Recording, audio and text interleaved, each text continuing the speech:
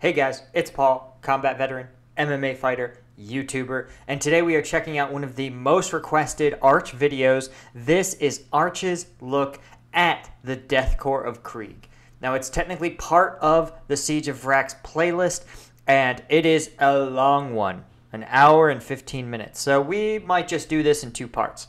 So let's get into it. But before we do, of course, check out the merch store. The link is below. We've got all kinds of fun Warhammer parody shirts and other ways uh, to rep the channel. We've got mugs, stickers, you name it. Also, be sure to check out my new Twitch channel. Just opened it up. Uh, the link is also going to be in the description.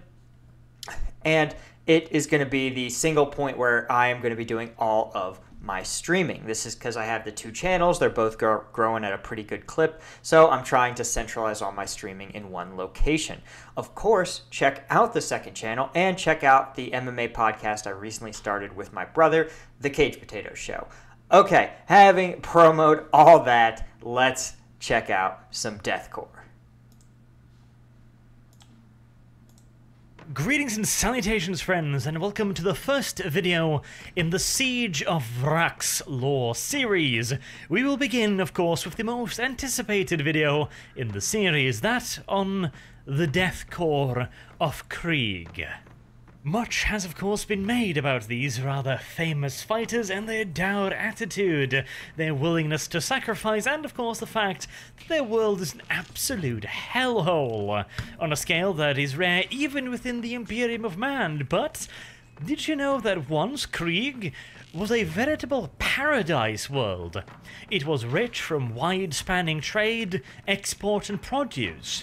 And whilst it lacked the natural beauty of a true paradise world, being of course a hive world, it was prosperous. Its citizens were about as happy as any imperial citizen of a hive world had any right to be. And That's not saying a ton. and ruled by the Council of Autocrats, it was a flourishing society that would go on to flourish for hundreds of years. I love how the Council of Autocrats, I wonder if that's their actual title. I mean, I would appreciate them just dropping the pretense of being like, no, no, we're like Council of Citizens. We're Council of, of uh, you know, w- wisdom. And just being like, nah, we're the Council of your hereditary aristocrats that run your society. Until finally, the ruling class decided that since they were doing such a damn good job of governing Krieg, that they deserved a little extra. After all, every few years they had to offer up significant percentages of their total produce, their wealth, and industrious resources to the wider Imperium. An Imperium that barely even knew that Krieg existed. After all, when was the last time that the wider Imperium did anything for Krieg, eh? When was the last time that it had done something for the Council? Why should the Council of Autarchs, the very reason why the planet was doing so well, Autarchs. Okay, I that's that's not the term for an autocrat. An, an autocrat is an autocrat, right?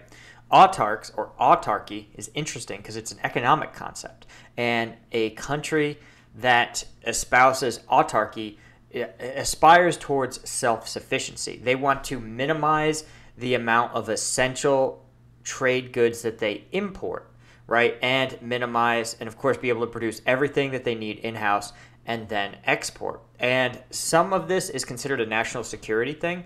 It was pretty common among military uh, dictators, excuse me, dictatorships in the 1980s in Latin America where they attempted to produce all their goods in house, but it's not really possible, right? In theory, you think, oh, well, if we have our own electronics industry, our own uh, car industry, our own food industry, it's possible, you know, but it's not really these industries tend to do just horribly. And a lot of times they're too complex. Like complex goods require supply chains that just can't be met in almost any country. Even if you wanted your own domestic car industry, say to manufacture your own military vehicles, you would still have to probably import your steel or your rubber or your lubricants, right? There, no matter what you do, or if you could make those, you would still need to import precursor materials like iron and uh, and you know uh, rubber trees and, and that sort of thing. So it, it, the autarky orientations for economies uh, sounds really good. It sounds like oh pride and self sufficiency, but it only works if you were a very very simple like agrarian society with a really limited need of manufactured goods. So it's funny to me that whether this is Arch or whether this is the lore, describes this ruling class as autarchs because, of course, an autarch would resent incredibly the Imperium uh, extracting some of their resources and would put a premium on self sufficiency. The irony, of course, being if you're a hive world, you probably get your food from off world, from the Imperium, right? And if the Imperium was a little more smartly run, they would structure it that the ruling class receives the vast majority of their luxury goods and the sources of their wealth and power, say weapons and even the military uh, that supports them, would receive it from the Imperium, and the common people would receive their food from the Imperium, or perhaps their best quality food from the Imperium. And of course, you brand that real hard. You let them know that their their best processed meat comes from the God Emperor himself. You know, Double Eagle Industries or whatever. Uh, that's a much better way of controlling a population because it lets them know continuously and nonstop that they are beholden in a visceral, concrete way to the wider Imperium. I'll have to suffer these deprivations at the hand of an Imperium that hardly even cares. And due to these extortionist tithes, many of the planet's ruling elites had to languish in a mere two or three palaces. Surely, they reasoned, that if only Krieg's resources was left to Krieg alone, as was only right and proper, they could make everything so much better. Now, of course, the Council was well aware that some of the more narrow-minded people on the planet might view such ideas as downright treasonous, which was, of course, a blatantly ridiculous idea. It was, of course, the Imperium that had betrayed Krieg, not the other way around. Nevertheless, for the time being at least, plans would have to be laid in secret until Krieg was ready to redress this injustice placed upon it by the extortionist tactics of a tyrannical empire. And the Autarch Council had been in charge for a very, very long time, so once they decided they were going to secede from this tyrannical empire, it didn't take long before their plans came to fruition. Having seized control of most of the governmental organizations of Krieg, along with the various governors of the Hive cities and most of the planet's... You know, the irony should be lost on no one that the defining campaign of the Death Korps of Krieg is almost a refighting in many ways uh, it sounds like, of their initial rebellion against the Imperium. I'm curious to see how long the parallels remain. PDF and Imperial Guard regiments it looked as if their coup had not only succeeded, they had succeeded beyond their wildest expectations. It began with the High Autarch declaring martial law, and once his forces were in position, utilizing the surprise and confusion that this declaration had garnered, they declared that they were seceding from the Imperium of Man. At this point, the Council's loyalists were already in control of the vast majority of Krieg's infrastructure and military. Loyalist forces had been placed around those Imperial Guard forces whose loyalties could not be guaranteed. There was resistance, but it was confused, unorganized, scattered, and in most cases already surrounded. Yeah, it's always interesting to see how sometimes it can be disturbingly easy to enact a coup. Uh, the classic example that I always think of is the Bolshevik Revolution, in which case the wildly unpopular government of Moscow, or, or Tsar really, was overthrown, sort of, by Bolsheviks basically killing the Tsar and his family, seizing control of a few key buildings, and simply declaring themselves in charge of the country. But like a lot of these coups, things tended to get pretty messy pretty quickly. It seemed like a really decisive win for them, right? And the new Soviet government declared that the you know First World War that the Russian government was going to be withdrawing from it. Um, they signed a, a, absolutely humiliating treaty in which some of the the Soviet Union's the new Soviet Union's uh, key industrial centers were basically ceded to uh, Germany. They had effectively vacated their trench lines entirely. And of course, the people doing the negotiation for the Soviets were random Bolshevik revolutionaries, certainly not trained diplomats. So there was a lot of problems at the outset.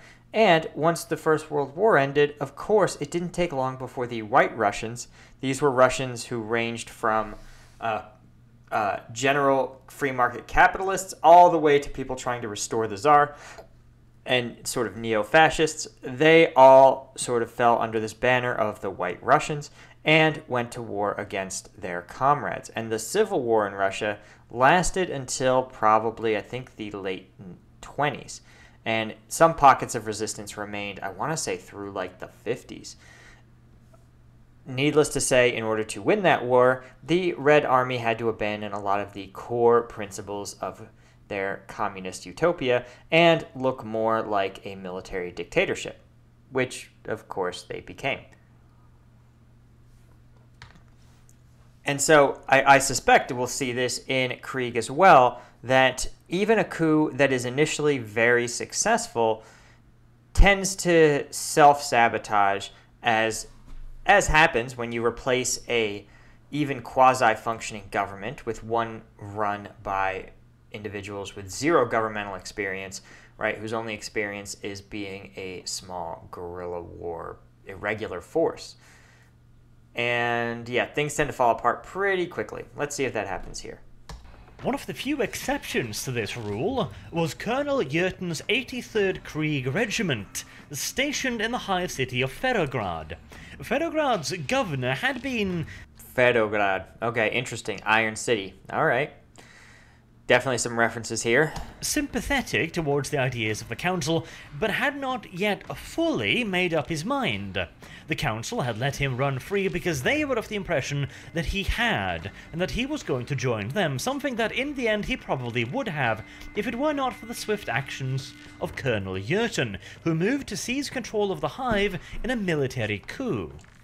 Ferrograd subsequently became the focus point for the remaining Imperial Loyalist forces on Krieg, of which there were depressingly few. Some had managed to break out from the traps laid for them, or otherwise avoid the notice of the traitor forces, but they were hilariously outnumbered, and Ferrograd appeared to be literally the only hive on the entire planet that had managed to remain fully within Imperial hands. Now, of course, Hive City is a formidable defensive work in and of itself, but completely alone, surrounded on all sides on a hostile planet, and having received word that Imperial reinforcements were not coming, the Colonel was left with a bit of a dilemma. There was simply no way that he could win this by himself. He could hold out possibly for years and maybe a decade if he was extraordinarily lucky. But without additional Imperial reinforcement from the wider Imperium, there simply was no realistic hope of victory, and said reinforcements were not coming. The Council of Autarchs were entirely aware of just how wide and massive the Imperium was. They were also entirely aware what the consequences of betrayal were, that is why the first objectives of their uprising were the orbital defense silos, protecting Krieg from enemy invasion. I'm always perplexed at this idea, and I guess over a million worlds, there's going to be a tiny number that are just stupid. Right?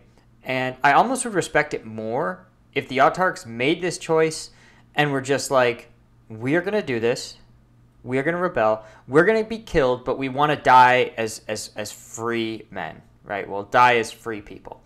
Uh, but this idea that you're going to seize power and you're going to live this like life of great luxury, uh, and that the Imperium is just going to let you go, there's zero indication that the Imperium will allow this in any sense. And almost every time you have these homegrown rebellions, again, the Cold War is the classic example of this, where all sorts of internal grievance, civil wars, and insurgencies and insurrections would consistently proclaim themselves as either capitalist or communist and would come with their hat in their hand to one of the Cold War powers seeking resources and support because these groups recognized that they were never going to win without external support. You notice that, for example, like the FARC in Colombia, right? How long did they continue their operation after the fall of the Soviet Union, right? Once they did, once they weren't getting supplies from the USSR, they had to become basically a narco organization that sometimes fights the government. But you see that a more rational course of action, which actually I think we're starting to see in Vrax, is that you need to find some equally powerful external help as a check against your opponent. Even in the American Revolution, right, the U.S. forces, once they displayed a certain baseline level of battlefield proficiency, once they could achieve some level of victory against the British, they immediately petitioned the French, Britain's great power rival of the era, to aid them monetarily with arms, ammunition, and training. And the French did. And that is basically what enabled the U.S. forces to continue to fight the British. So I, I really want to emphasize that you don't become an autocrat of a country or of a planet or even of a city without understanding cost benefit analysis and never ever putting your neck out there when you don't think that there is a worthwhile payoff probability. Krieg was a vital world within the Imperium, one of considerable importance, and thusly its defences had also been prioritised quite highly. And in this particular instance, Krieg being a massive hive world, its planet-side defenses were already formidable in the extreme, every single hive city being home to billions of Imperial citizens, potentially millions of PDF troops, and gargantuan defensive works built into the cities themselves. If the enemy managed to reach the planet, the hives would be able to hold out for years. And even better, if the Hives had access to massive anti-orbital defenses, any invasion force could be reduced significantly before they even set a single foot, boot, tentacle, or whatever else they might be walking on, on Krieg soil. Obviously, the planet was, at the moment at least, embroiled in a civil war, which would weaken these defenses to some degree, but the Imperium simply could not spare the sheer number of troops and ships required for an invasion of Krieg. And that was assuming that Colonel Jurten could remain defiant until the Imperial forces could be assembled and finally make the transit to Krieg, when in all due reality, whilst it was possible that the Colonel could hold out for an extended period of time, being surrounded, outnumbered, and considering the fact that the Council knew that it was very important to finish him off before any theoretical Imperial reinforcements, his defiance was, in all due likelihood, measured in months, at least, and years at most. And whilst that might sound plenty, the Imperium is a vast place indeed, not to mention, the invasion of a planet like Krieg would require substantial dedications of manpower. The recruitment of these troops, their training, their organization, and their eventual transportation to Krieg, not to mention the Imperial Navy elements required, could take years, if not decades, to find. Yeah, I, I understand that communication is really tough in the Imperium, but this is another reason that Cold War powers loved indigenous insurgents and insurrections is because the if you, you, the hardest part right galvanizing people to resist the other side is already done. Someone else is already doing it for you. And so all you need to do is provide them a comparatively small number of resources or troops and the existing insurgency is able to execute that that resistance in a way that just is much easier than having to do it yourself. So in fact, again, you have to think with this Colonel Jurgen character, right? He has an army. He has an army and they are loyal to the Imperium and they are resisting effectively, right? At least at the moment, they are effectively resisting the uh, rest of the planet. So the Imperium doesn't need to raise and train a whole army. The Imperium doesn't need necessarily to, you know, uh, bring in a naval battleship. Remember, it may they control a hive city. There may actually be a clear landing platform for the Imperial Navy, right? As long as they get in the right part of geosynchronous orbit, etc. You know, so I think this idea that the Imperium would offer this effective resistance, no help at all, is sort of ridiculous. I think absolutely they would try to divert, even if it was a question of, hey, we're going to shift a PDF from the neighboring sector to land on the ship, distribute a bunch of supplies, fight there for four years, five years, right, and then rotate them off world. Nothing, nothing crazy about that. Again, we're talking about not millions of soldiers, but 10,000 well equipped PDF. Uh, even just airdropping things like arms, ammunition, food, medical supplies onto that hive city again and again, keeping their defenders fed, equipped, and firing would have been potentially a decisive difference maker. And that is, that requires almost no planning, right? It's not even, it's no soldiers that you need to contribute.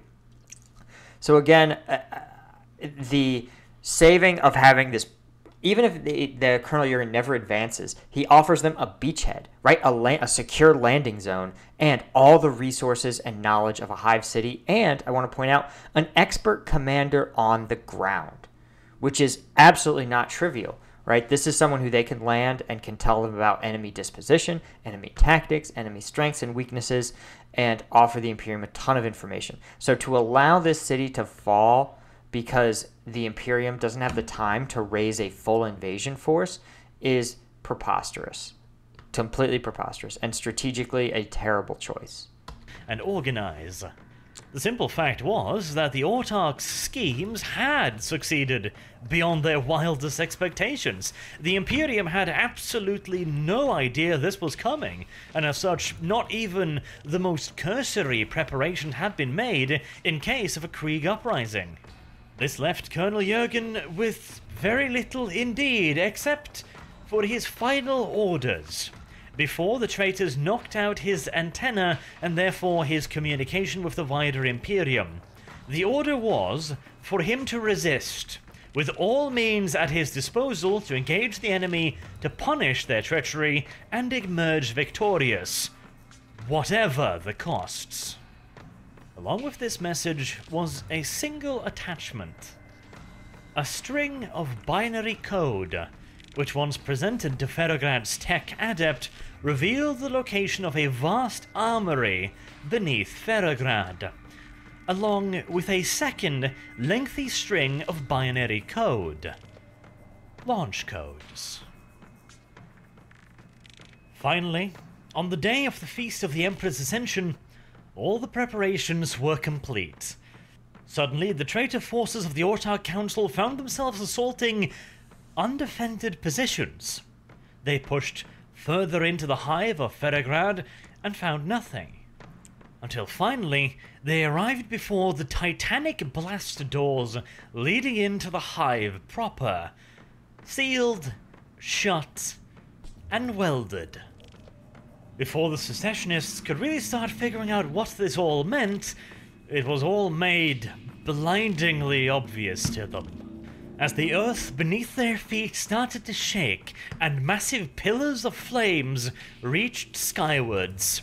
Kilometers away, the operators of Auspex systems could only watch on helplessly as dozens and then dozens more until hundreds of Auspex contacts were rising up from the hive city of Ferrograd. Auspex contacts?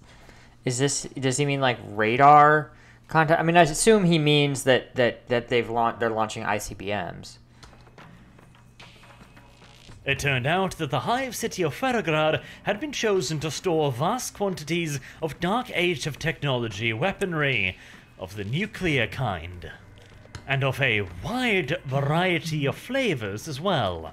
Some of the weapons were designed to explode in the upper atmosphere, scattering nuclear radiation across the entire planet. Others were designed to land on major secessionist hive cities and take care of them in somewhat more conventional fashion. The result was that first the planet was ravaged by hellish nuclear firestorms, and when those subsided, the planet was then covered in nuclear winter. And who doesn't love a good old fashioned radioactive snowball? So, what is interesting, or depressing, depending on how you look at it, is that nuclear weapons, right, the nuclear winter that they talk about, is a function of the fact that it is believed that in a full on nuclear exchange at the height of the Cold War, enough ash may be kicked up into the atmosphere to actually uh, darken the sun and cause a uh, cause difficulty in things like growing conditions and cause a slightly cooler um, Earth for at least a couple of years. Now, this is problematic for a host of reasons. Um, it's been known to happen in a response as a result of tremendous volcano explosions. Um, I want to say there's some evidence in the in the record that I think Mount Vesuvius, when it erupted, caused this sort of effect. But there's also a lot of but but a lot of this is speculative you know and a lot of it is uh, cold war era fear mongering the reality is that there are some models for what would happen in the event of a nuclear exchange but the question is is still very much undecided. Now all this to say right that if you launch Dark Age of Technology nuclear weapons a la 40K, who knows what would happen? We know that that that that that era of technology featured frighteningly powerful weapons, and undoubtedly their nuclear weapons were probably uh, very advanced compared to our own. But that said, our advanced weapons are very, very advanced, right? We have what are called MIRVed ICBMs, and that is where we've taken a bunch of thermonuc- thermonuclear warheads, right? Bear in mind that the original uh, the original bombs dropped on Hiroshima and Nagasaki were pretty crude fusion devices, fission devices, and the U.S. and Soviet Union quickly engineered within you know five or six years uh, a fusion bomb, a so-called super bomb, and of course, there are several ways that you can make those weapons even larger still and increase their yield, but the nuclear weapons that now exist are orders of magnitude more powerful than the ones dropped on Hiroshima and Nagasaki. So that's dangerous enough. Then we've taken those weapons and we've MIRVed them, which is taking a six or seven different warheads, giving them their own independent guidance system, and sticking them into the same ICBM. So it gets launched up into the atmosphere, drops down, and then spreads apart each of the six to 12 warheads, tracking their targets independently. Right? So sometimes you have six warheads and you'll say, hey, I want three to hit Red Square in Moscow, or I want four to hit the Pentagon in the United States.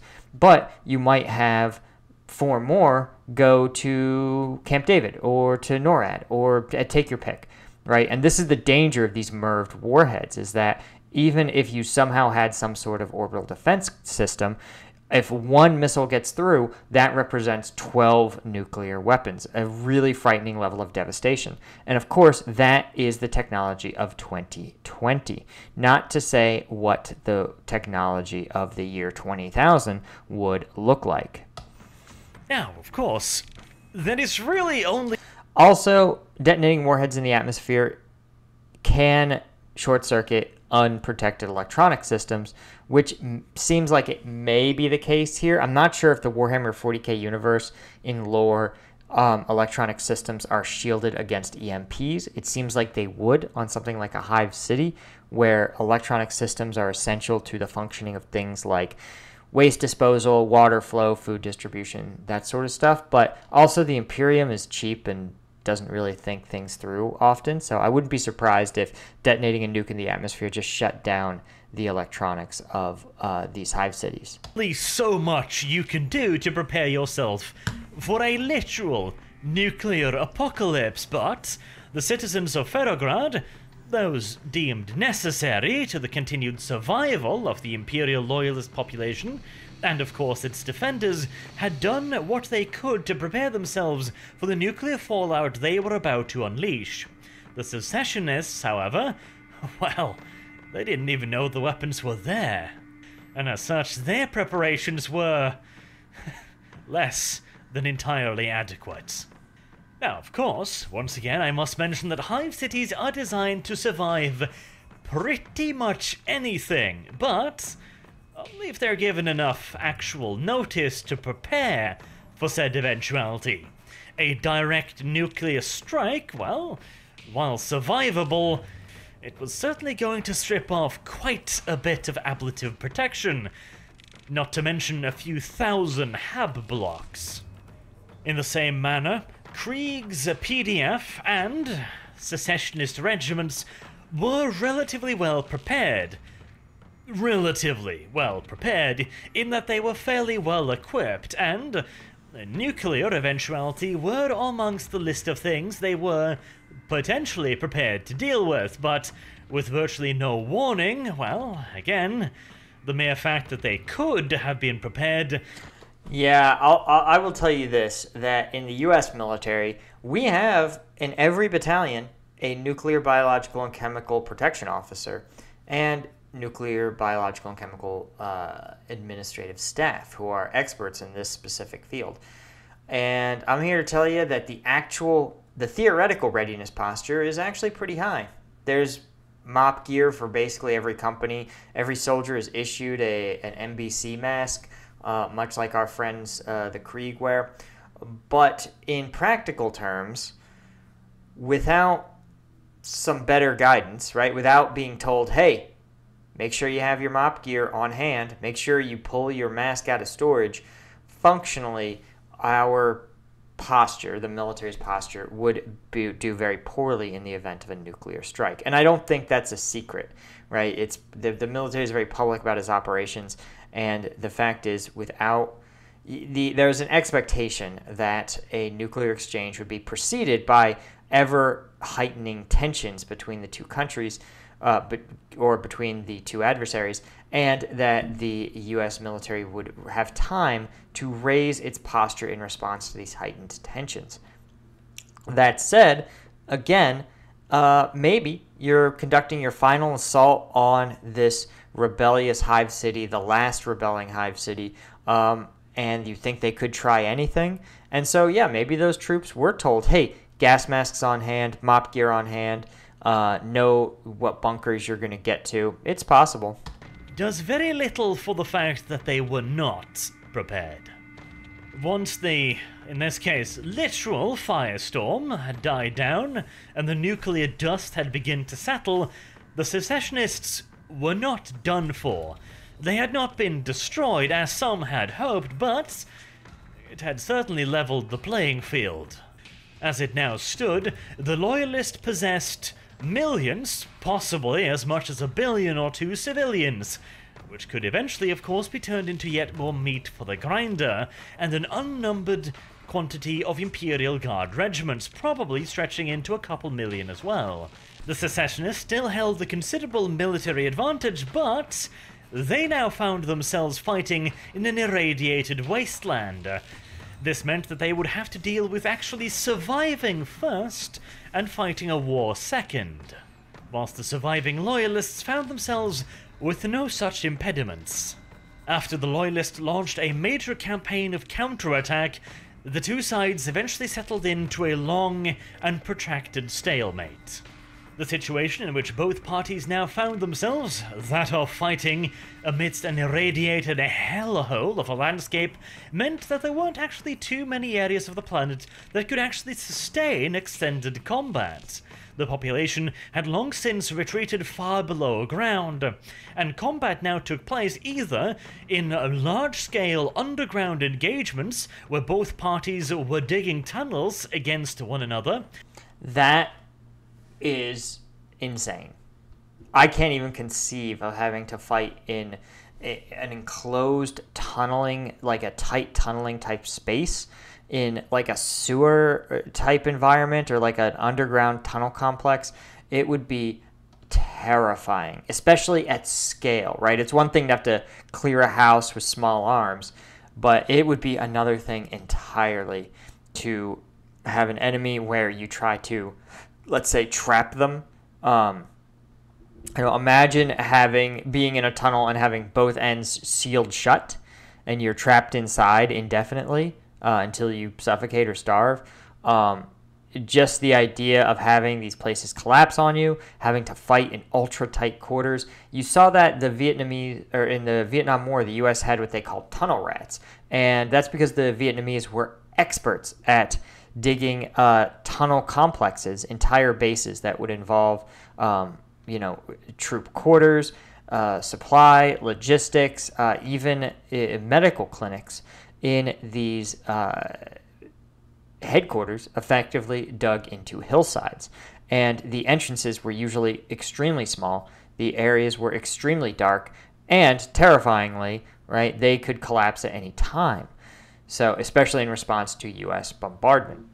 So that's terrifying, but even more terrifying is that the US forces had designated soldiers, not a special role, just someone who drew the short straw, uh, known as tunnel rats, who would have to go in and investigate these uh, North Vietnamese bases, which could range again from a, a small, you know, two dozen people who had dug a small tunnel network with two rooms, all the way to a gigantic multi you know several dozen soldiers, uh, a battalion level headquarters underground, effectively. So the uh, idea that there were soldiers, U.S. soldiers, that went in with a 45 and a flashlight, and they were expected to clear this area, which again would be booby trapped potentially, um, is terrifying. Terrifying, even in a war that was already pretty terrifying, right? It sounds just just hellacious or in limited above ground engagements. This particular form of warfare turned out to be remarkable.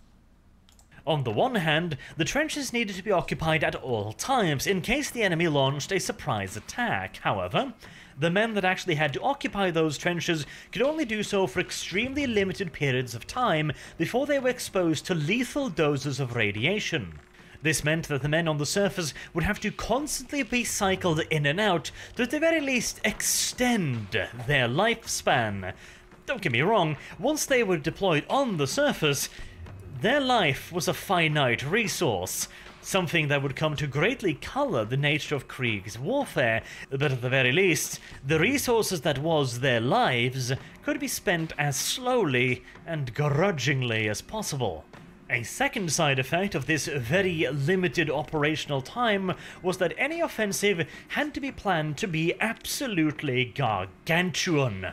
Once large numbers of forces were dedicated to a surface conflict, they had to gain some ground. Every available man had to be thrown against the objective in literal human wave style warfare to assure that at least something was gained from the expenditure of their lives. But again, this doesn't make a lot of sense. I'm struggling to understand the constraints they're under. So, okay, you want to fastidiously safeguard your soldiers' lives, then you're going to want to employ them in low risk engagements. You're going to want the enemy to take the huge risks while, while you make them pay for it.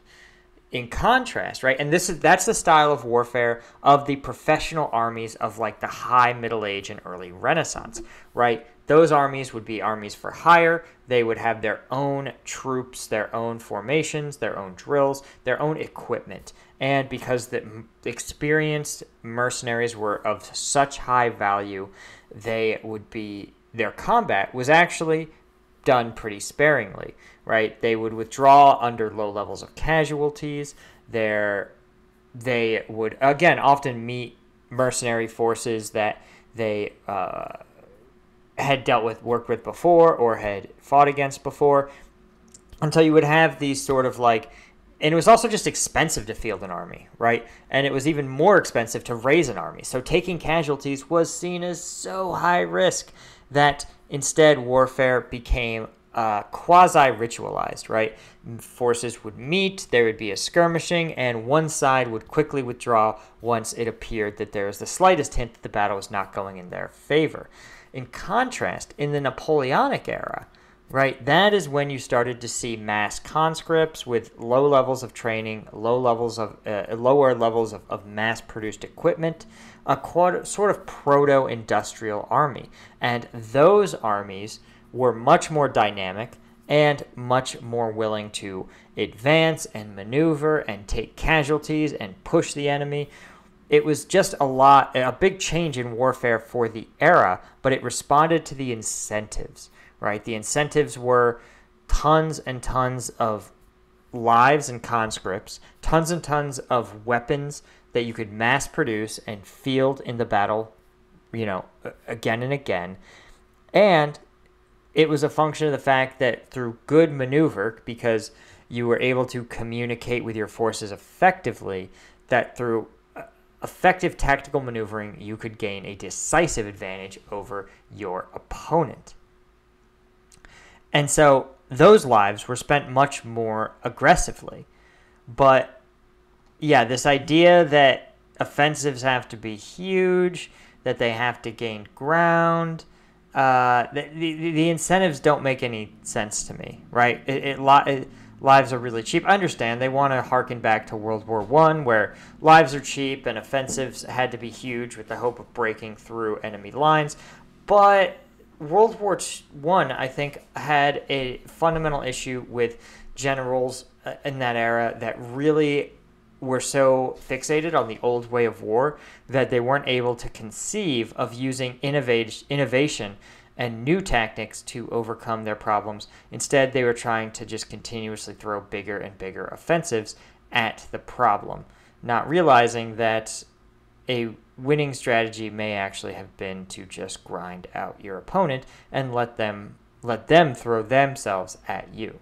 And considering the fact that the vast majority of men commit There's also sorry, some some geopolitics at work in World War 1 because Germany was occupying a big chunk of France and the allies actually had to force uh, Germany back, whereas Germany could achieve a victory of sorts by just remaining in place. It's Into such an action were essentially already dead men walking once their names were called, it meant that the war was a slow one indeed. The casualty numbers apocalyptic. It became all out warfare, with every man, woman, and child dedicated to nothing but the eventual end of the conflict, which would finally arrive 500 years after the ruling Council of Autarchs turned their back upon the Imperium.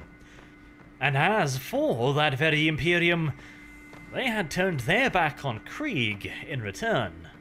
It turns out that the Council of Autarchs weren't entirely mistaken. Once Krieg was turned into a radioactive hellhole, the White Imperium simply had no use for them. It might sound cynical, it might sound monstrous indeed, but the simple fact was that the benefits of reclaiming Krieg were dwarfed by the costs of. This is the realistic Imperium that we know and love. Doing so. And as you can probably imagine, after 500 years, it came as quite a shock to the Imperium when they were contacted from Krieg, a planet that they had long since written off as a death world at absolute best, and in all due likelihood simply just a dead planet. And whilst, of course, the saviour of Krieg, and amusingly enough, its destroyer, Colonel Jurten, was long since dead, the people of Krieg had inherited his goal of one day returning to the Imperium of Man, and so here they were. But they had nothing to offer the Imperium. Their world was still a nuclear hellhole and would remain so for quite some time yet. This was not the thriving mercantile hub of years gone past. This was a little more than a radioactive ball hurling through space. What could such a world possibly have to offer the Imperium? Oh, yeah, we know this story. Okay, guys, let's see. Let's actually. There we go. Let's pause it there for today. Right, I am actually going to start my stream here in a little bit. I got to get ready. But this is so far a really interesting series, and I can't wait to get deeper into it. We're only like 20 minutes into this hour and 15 minute video. So, man, there's going to be so much more cool information about the Krieg. But if there's stuff that I got wrong, of course, let me know in the comments. I do read them all, even though I don't always reply as, as frequently as I would like to.